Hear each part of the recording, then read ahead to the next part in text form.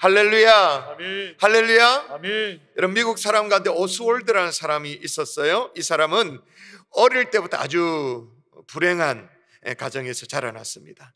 그 부모의 관계가 좋지 않았어요. 아버지는 알코올 중독에 날마다 술을 퍼마시고는 어머니를 두들겨 패고 구타를 하고 그런 모습을 보면서 어린 시절에 쭉 자랐기 때문에 자연스럽게 그 아버지에 대한 증오감이 싹 텄겠죠? 견디다 못한 이 어머니가 이혼을 하게 되어집니다. 두 번째 새 아버지가 들어왔는데 구타는 하지 않았어요. 두들겨 패진 않았어요. 근데 굉장히 머리가 약아가지고는 어머니를 늘 이용해 먹는 거예요. 사기를 치고 그나마 어머니가 가지고 있었던 돈을 다 빼앗아 가고 견디다 못해서 어머니가 두 번째 또 이혼을 하게 되어지죠. 세 번째 결혼을 했는데 이, 아무, 이 아버지마저도 세 번째 아버지마저도 아주 성격이 괴팍했습니다. 이런 환경 속에서 어린 시절 자라다 보니까 이 오스왈드 학생은 남다른 어떤 공격적인 성향이 있게 되어졌죠. 그리고 마음의 상처를 씻을 길이 없습니다. 그래서 집에 들어오면 막 가구가 부서져 있고 서로 막 욕을 하고 싸우고 엄마 아버지가 막 싸우고 부부 싸움을 보게 되어지니까 그 마음의 상처가 되어져서 누가 나를 건드리기만 해봐라 막 이런 마음 있잖아요. 건드리만 해봐라라는 그런 마음으로 증오감에 불타서 세상을 살아가게 되어졌습니다. 고등학생이 되어졌습니다. 고등학교 들어가서 늘 친구와 싸우는 거예요. 날마다 싸움을 하니까 결국은 학교에서 정학을 당해 되어지고 그래도 개선의 여지가 없으니까 결국은 퇴학을 당하게 되어졌습니다. 뭐 하는 일마다 잘 되지가 않았어요. 이 직장 저 직장 옮겨 다니는데 마침내 미 해병대 입대를 했습니다. 여러분 해병대가 미국 해병대가 훈련이 세서 그렇지 대우는 괜찮거든요. 생활할 만하거든요. 직업군인이잖아요. 생활할 만하거든요. 그런데 그걸 잘 버텼으면 얼마나 좋아. 그런데 해병대 들어가서도 적응을 못한 거예요. 동료와의 어떤 불화로 말미암아 불명예 제대를 하게 되어졌습니다. 나이가 훌쩍 넘었습니다. 서른이 되어서 어느 날 떠돌다가 한 여인을 만났는데 사랑에 빠진 겁니다. 결혼을 하게 되어졌어요. 이제 마음의 결심을 합니다. 이 결혼 생활을 내가 잘 해야겠다. 나는 지나간 이런저런 아버지와 같은 그런 사람이 되지 않아야겠다라고 마음을 먹었지만 그게 됩니까? 이미 마음에 쓴뿌리로 가득 채워져 있는데 아름다운 결혼 생활 그게 가능합니까? 불가능했죠. 날마다 부부 싸움을 하게 되어졌어요. 이날도 아주 대판 그냥 부부 싸움을 아주 그냥 하게 되어졌는데 초안 자루를 들고 집을 나갑니다. 그리고 얼마 전에 겨우 취직한 회사의 옥상에 올라가지고 누가 오기를 기다려 기다렸다가 일을 치는데 1963년 11월 12일 시계바늘이 정오를 가르칠 때 그때 달라스의 타운 다운타운에서 방아쇠가 당겨진 소리가 들립니다. 탕 하는 총성과 함께 한 사람이 죽습니다. 그때 죽은 사람이 누구냐? 존 F 케네디 대통령. 케네디 대통령의 죽음을 맞이하게 되어졌던 거죠. 그래서 많은 사람들이 오스월드에 대해서 뭔가 연구를 했어요. 많은 상담학자, 범죄 심리학자들이 연구를 하고 또 연구를 해서 내린 최종적인 결론이 뭐였냐면 마음의 쓴뿌리를 치유하지 못한 사람이 저지른 역사적인 비극이다 라고 결론을 지었어요. 뭐가 치유받지 못한 사람? 마음의 쓴뿌리가 치유받지 못한 사람. 여러분 이 쓴뿌리라는 것이 이렇게 무서운 거예요. 비록 처음에 시작할 때는 사소할 수 있어요. 어린 시절에 여러분 솔직히 말해서 엄마 아버지가 싸우는 거 그걸 안 본 사람이 누가 있어요? 저도 우리 엄마 아버지 싸우던데. 다 한 번씩은 보죠. 다 경험해요.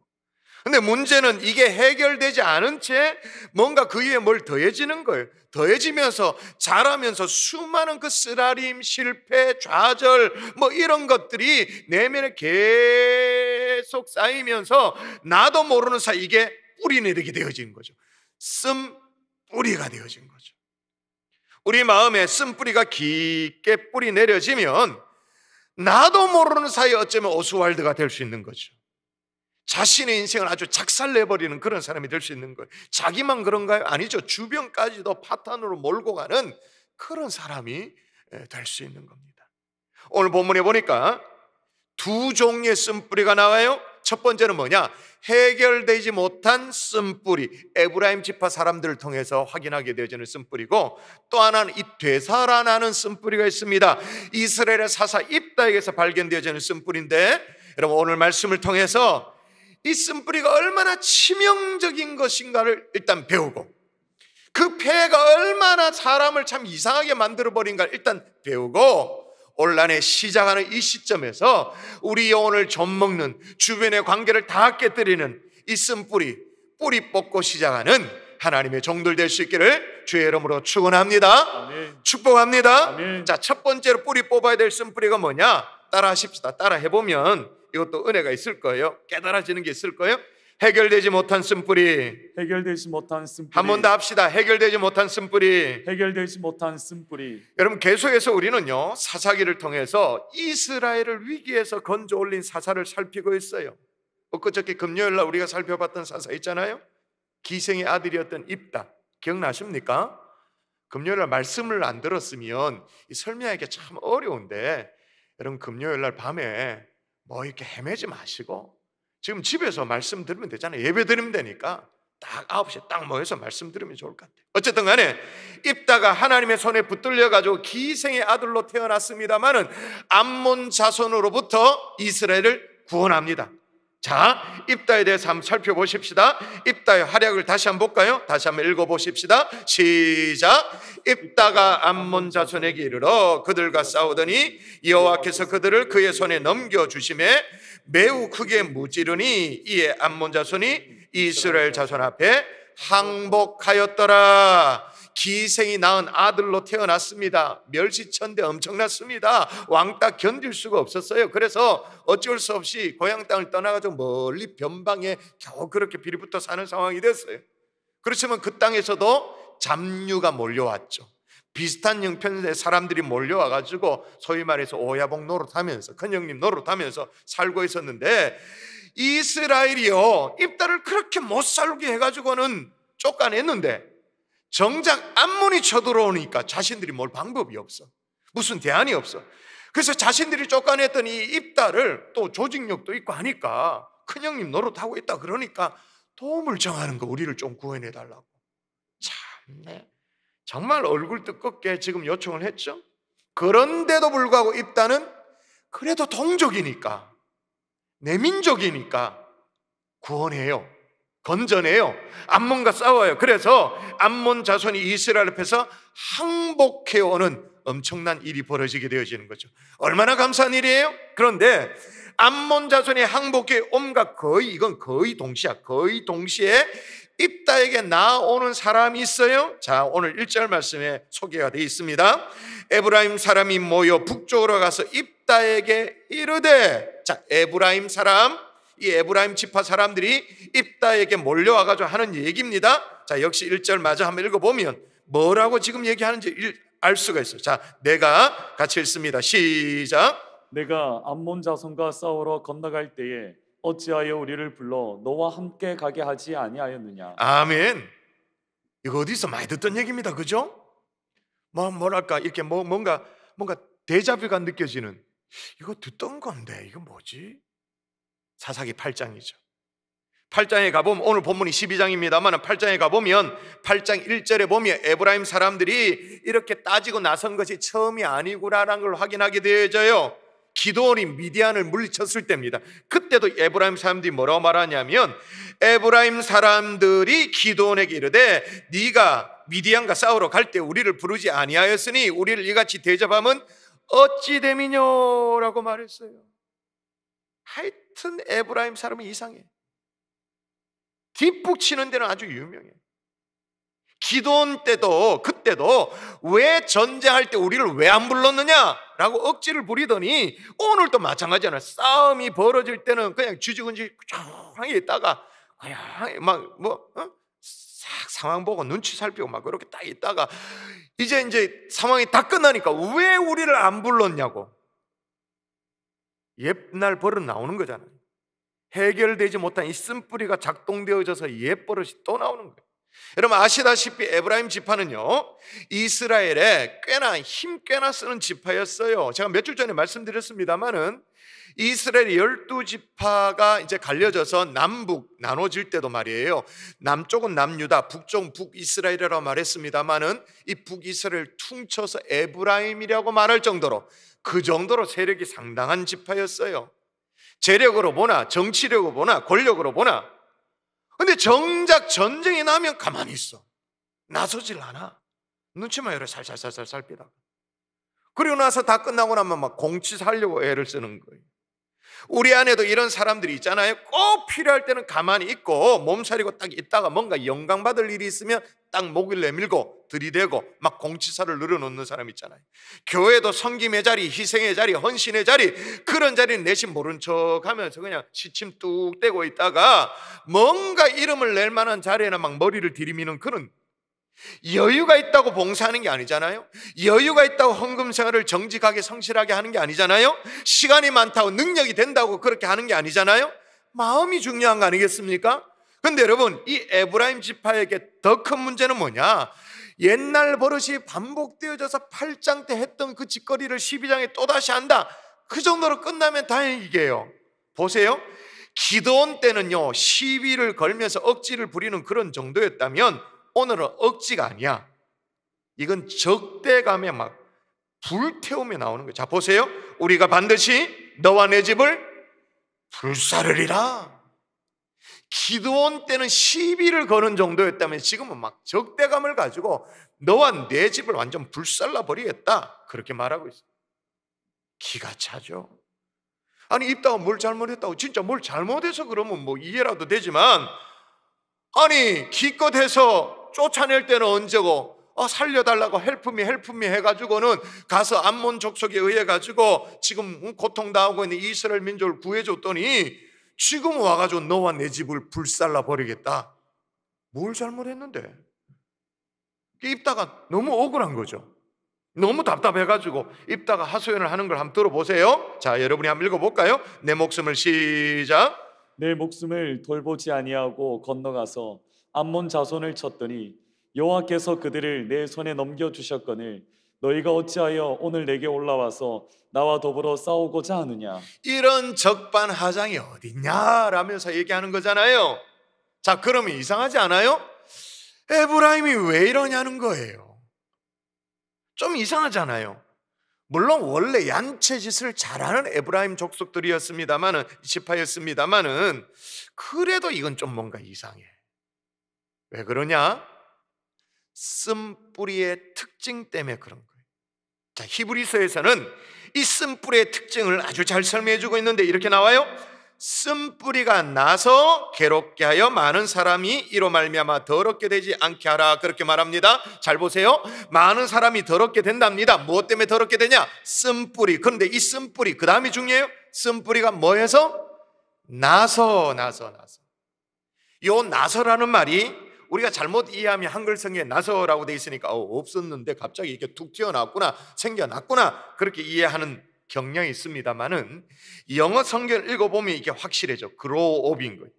자라난다. 표준 세번역에도 보면 쓴뿌리가 돋아나서라고 그렇게 말합니다. 그러니까 쓴뿌리의 특징은 뭐냐? 그냥 두면 없어지는 게 아니라는 거예요. 세월이 지난다고 없어지는 게 아니라는 거예요 그냥 두면 어떻게 되냐? 이게 뿔뚝뿔뚝 일어나. 자라난다 이 말인 거죠. 에브라임 지파 속에 있었던 쓴뿌리가 자라나니까 이게 어떻게 되냐? 멀쩡한데 아무 이유가 없는데도 죽이겠다고 나서는 거예요. 이 길라 사람들 입다 불사질러 버리겠다고 나오는 거예요. 자라나니까. 혹이나 여러분 속에 자라나고 있는 중에 있는 이 쓴뿌리가 있나요? 오늘 우리는요, 단순히 무슨 상처를 얘기하는 게 아니고 조금 뭐 위로가 좀 필요하다, 마음이 어렵다, 그 정도 수준을 얘기하는 게 아니라 해결되지 못한 상처. 그래서 이 막 이게 뿌리 내려져 가지고 쓴 뿌리가 되어져서 뭐랄까 마음속 저 깊은 곳에 이 농이 돼서 막 고름이 되어 있는 그런 쓴 뿌리를 얘기하는 거예요. 언제든지 이 문제만 턱 걸리면 고마 터져 버려. 신앙생활을 잘 하다가도 언제나 그 문제에 걸리면 그 문제만 턱 걸리면 걸려 넘어지는 거예요. 터져버리는 거예요. 고름이 막 쏟아지는 거예요. 그런 문제를 얘기하는 거예요. 그러면 도대체 에브라임 지파 속에는 해결되지 못한 그 뭔가 쓴뿌리가 뭐냐? 그 실체가 뭐냐? 알고 보니까 대단한 게 아니야.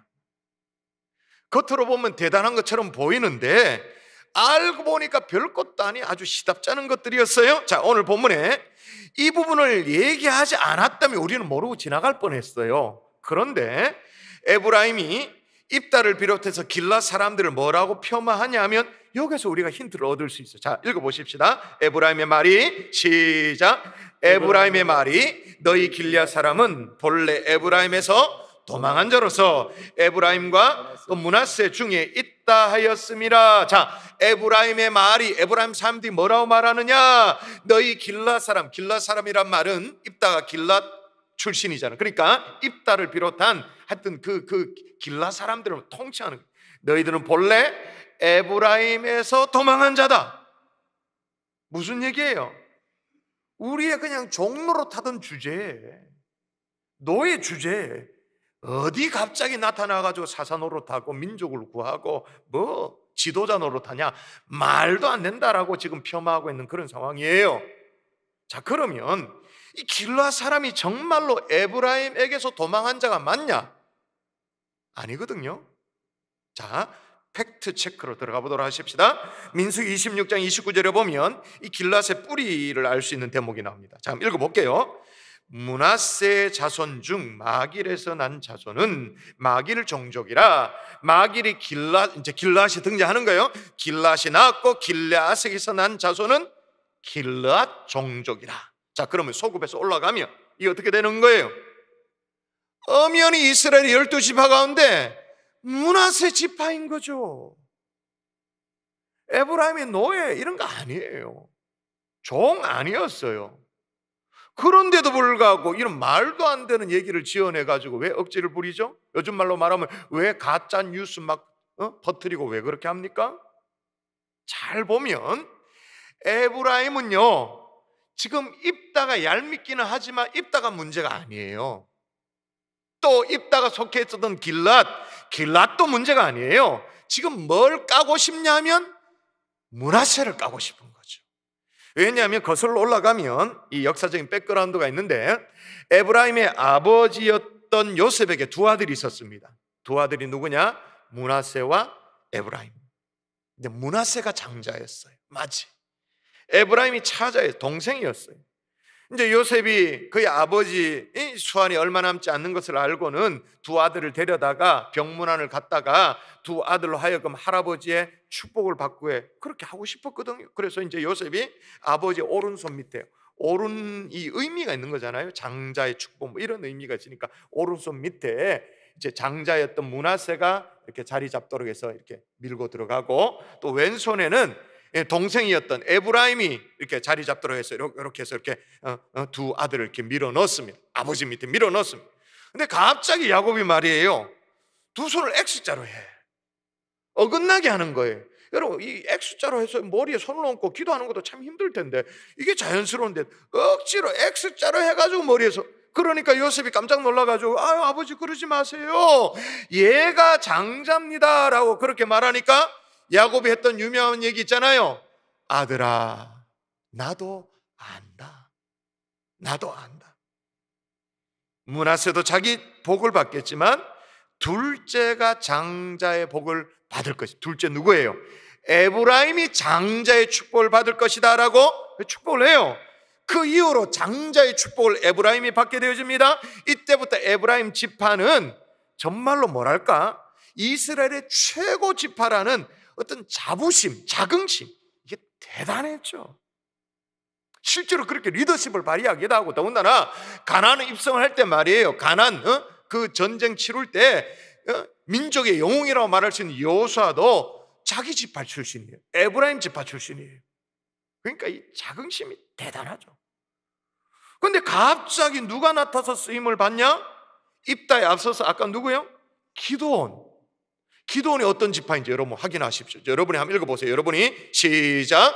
기도원이 그에게 대답하되 나의 집은 문하세 중에 극히 약하고 나는 내 아버지 집에서 가장 작은 자니이다. 기도원이 얘기하고 있는 것처럼 작고 별볼일 없는 이 문하세 지파 그 문하세 지파 중에 뭐 나부랭이 하나가 나와가지고 쓰임을 받아요.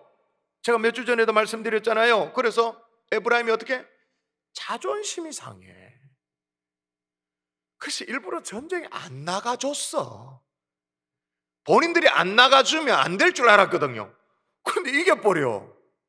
승정보를 올리는 거예요. 그래서 와서 시비를 거는 거죠. 또 세월이 좀 지났습니다. 이제 기도원 지파, 저, 저, 사사 시대는 지나가고 또 이제 문하세 지파에 길라 사람 입다가 나와가지고 또 암몬 족속을 물리치네. 근데 입다가 누구예요? 기생의 아들 주제에 민족을 구하는 거예요. 도저히 참을 수가 없는 거야. 자, 이제 지금 에브라임 지파의 이 쓴뿌리의 그 실체가 뭔지를 이제 아시겠어요? 결국 뭐예요? 아주 유치찬란한 자존심이에요. 남이 잘 되는 건 내가 못 봐줘. 못 봐줘. 나보다 뭐 별것도 아닌 것이 쓰임 받는 거, 그건 배가 아픈 거예요. 내가 중요한 건 내, 내, 내. 다른 말로 말하면 교만.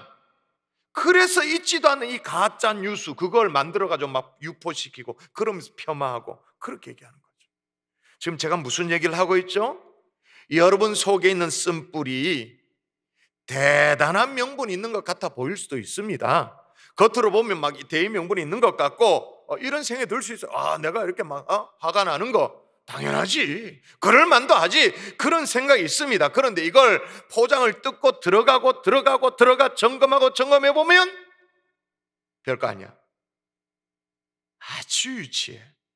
그죠? 그러나 그 유치한 것들이 해결되지 않고 그대로 있으면 어떻게 된다고? 이게 자라난다 그 말인 거예요. 자라나면 어떻게 돼요? 동족도 죽이겠다고 나서는 거예요. 저 불살라 버리겠다고 나서는 거예요. 여러분, 해결되지 못한 쓴뿌리가 없도록 새해를 출발하는 이 시점에서 성령이여 나를 치유시켜 주시옵소서 아멘. 나를 고쳐 주시옵소서 아멘. 내 마음을 다스려 주시옵소서 아멘. 기도하고 출발하는 하나님의 종들 될 수 있기를 주의 이름으로 축원합니다. 두 번째로 해결될 쓴뿌리가 뭐냐? 되살아나는 쓴뿌리 따라 하십시다. 되살아나는 쓴뿌리. 되살아나는 쓴뿌리. 한 번 더 되살아나는 쓴뿌리. 되살아나는 쓴뿌리. 여러분 해결되지 못하는 이 쓴뿌리로 막 죽이겠다고 나서니까 말이에요. 에브라임 사람들이 입다가 대응을 하는데 말이에요. 이게 기도원 때와는 사뭇 달라요. 사사기 8장 때와는 달라. 기드온이 에브라임 사람을 어떻게 합니까? 막 아주 달래잖아요. 이렇게 달래.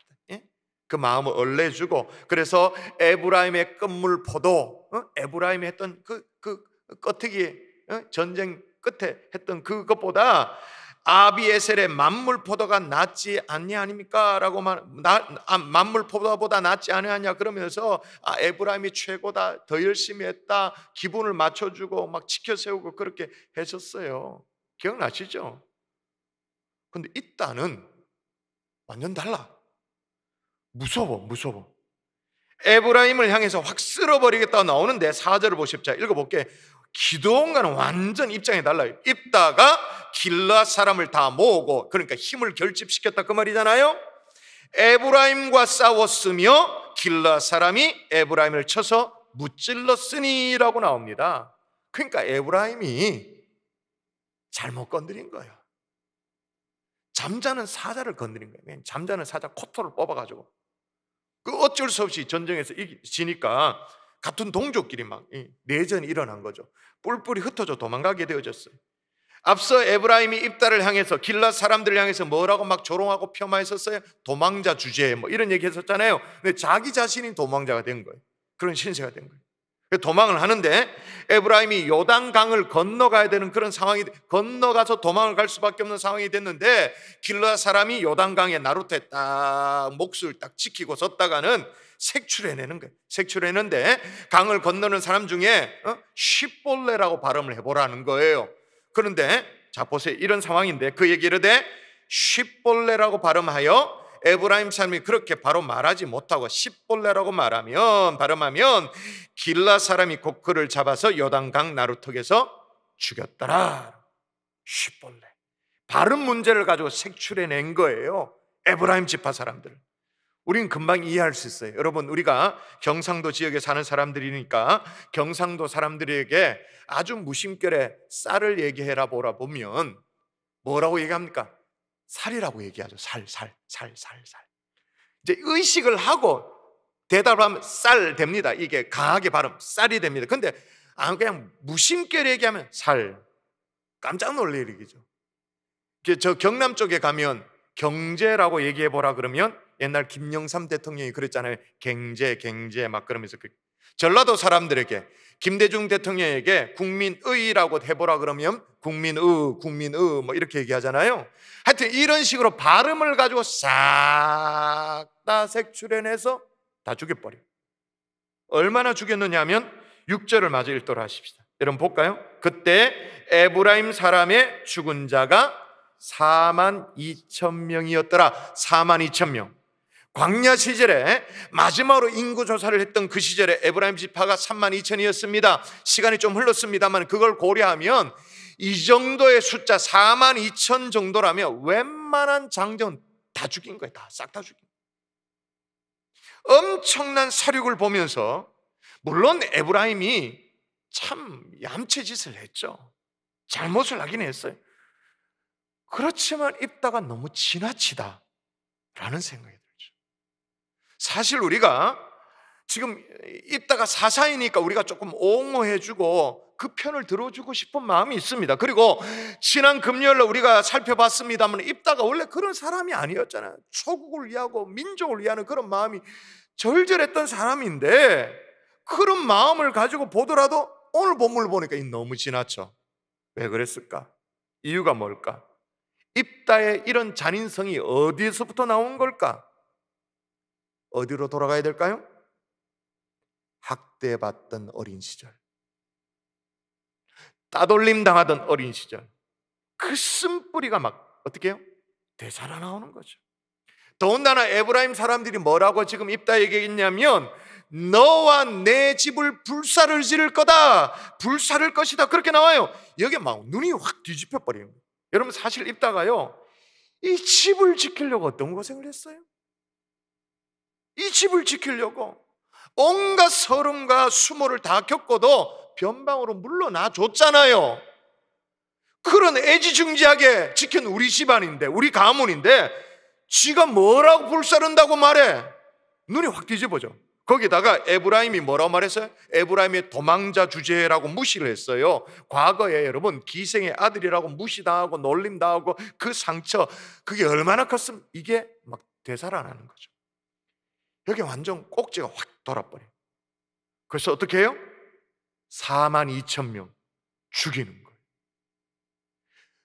되살아나는 이 쓴뿌리가 통제할 수 없도록 그렇게 돼버린 거예요. 여러분 해결되지 못한 쓴뿌리도 참 크나큰 문제입니다만은 이 되살아나는 이 쓴뿌리는 더 큰 문제가 될 수 있어요. 왜 그런가? 여러분 생각해 보십시다. 언제 우리 속에 있는 이 쓴뿌리가 되살아날까요? 과거에 어느 정도 해결됐던 이 쓴뿌리가 언제 어느 순간에 이게 다시 다시 되살아나게 되어질까요? 물론 열받을 때죠. 화가 나면 막 어? 열받으면 그렇게 되어집니다. 근데 잘 생각하셔야 됩니다. 과거의 쓴뿌리가 언제 되살아나는가? 힘이 생겼을 때입니다.